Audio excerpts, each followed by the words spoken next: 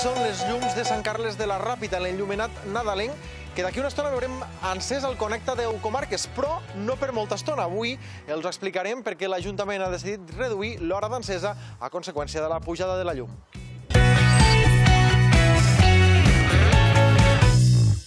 Marxem cap a Sant Carles de la Ràpita, perquè aquest municipi ha decidit reduir aquest any les hores que té encès l'enllumenat de Nadal.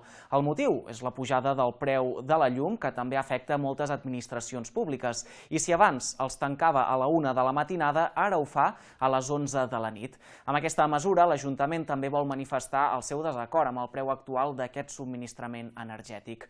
Roger Font, com ha estat rebuda aquesta mesura pels comerços, que són qui més precisament es poden beneficiar de la instal·lació dels llums nadalencs. No has marxat tu de compres o alguna cosa?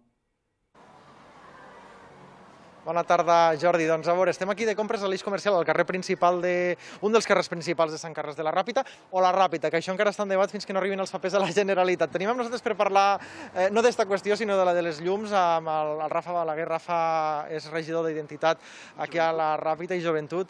Rafa, des de l'Ajuntament heu pres aquesta decisió, una decisió per aquesta pujada de la llum contínua, s'ha anunciat de nou per demà una nova, un nou increment. Eh, com, per, per què heu decidit això? Doncs bé, la veritat és que mm, poques coses se poden fer. La llum s'ha de mantenir oberta, és una època que la gent surt molt i, com aquell que diu, estem obligats. No? I, llavors, l'únic que nosaltres podem fer en aquest sentit és retallar una miqueta les hores. Llevem les hores de llum i el que aprofitem per a fer és això. Doncs, si els altres anys a la una de la nit apagàvem les llums, enguany s'apagaran a les 11 de la nit i deixarem només eh, les llums obertes els dies de, de festa, eh? vull dir, les, la nit del 24, el 31, aquests dies les llums se quedaran obertes fins a la una perquè s'entén que la gent potser sigui dels dies que més surt i, i que, la, que hi haurà més gent voltant, però les, les, les altres nits entenem que a les 11 de la nit la gent ja, ja pot estar a casa i mos ahorrem això. És una mesura que afecta, dèiem, aquestes dues hores de la nit. Com ha arribat la ciutadania? Mm, esperem i desitgem que bé, perquè la veritat el que busquem és això. Eh, busquem que són unes hores que pel fred i tot la gent ja sol estar a casa i per a tindre les llums enceses per a no res, doncs mira, el detall que podem fer nosaltres és apagar-les un parellet d'hores abans. Esperem que, que agrade i que realment, poquet a poquet, doncs, tots féssim un, un petit esforç perquè poguéssim aconseguir això. Eh, Rafa, veiem també que eh, l'enllumenat als carrers, no sé si en aquest Ajuntament cada any varia, cada any les llums són diferents? Sí, sí, normalment a vegades poden ser dos anys seguits o segons el conveni que tens, però normalment sempre se tria uns mesos abans, pots triar si a una zona la vols més eh, il·luminada d'una manera o d'una altra.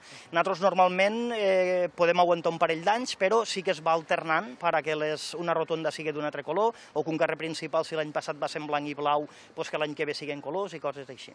Moltes gràcies, Rafa, per haver-nos acompanyat. Els volem eh, fer entrar... Bueno, anem cap a dins d'aquesta botiga, perquè aquí fora tenim les llums de Nadal, tenen una despesa, però les despeses que no paren amb llums són a botigues, a comerços locals. Tenim aquí a la Laia per parlar-ne. La Laia és propietària d'aquesta botiga. Laia, explica'ns eh, com us afecta a vosaltres l'increment de la llum, que heu de fer front eh, i sempre intentant mantenir els mateixos preus de cara a la venda al públic.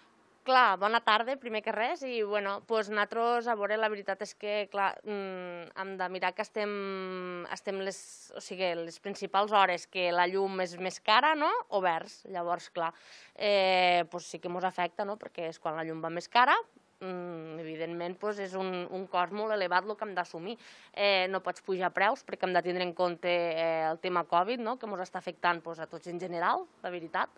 I, bueno, doncs és això, no? Més que res que, clar, vull dir, l'Ajuntament ha pres la iniciativa esta de tancar dues hores abans les llums, eh, que m'ho sembla molt correcte, la veritat, perquè és un estalvi d'energia, i, i a veure, crec que no cal tampoc mm, fins a la una de la nit les llums obertes, no? Cal conscienciar-nos una mica i, bueno, i ajudar-nos en lo, tots una mica en lo que, en lo que més bonament poguéssim. Moltes gràcies per haver-nos acompanyat en directe, Laia. Eh, vull ensenyar-vos una cosa si sortim de la botiga, perquè l'Ajuntament, l'entitat comercial d'aquí, eh, ha fet aquests cartells eh, per poder fer un sorteig amb vals eh, de 100 euros i de 200, en concret 100 premis de 100 euros i 50 premis de 200 euros per comprar al comerç local i per ajudar a com a mínim, recuperar el que van perdre durant la pandèmia, un comerç local que de nou estirà de nou perjudicat demà per la pujada de la llum que s'ha anunciat.